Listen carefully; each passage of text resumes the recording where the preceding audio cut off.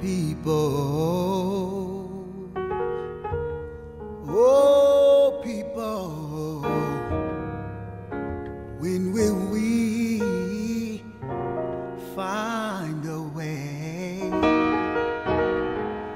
Talking to your people.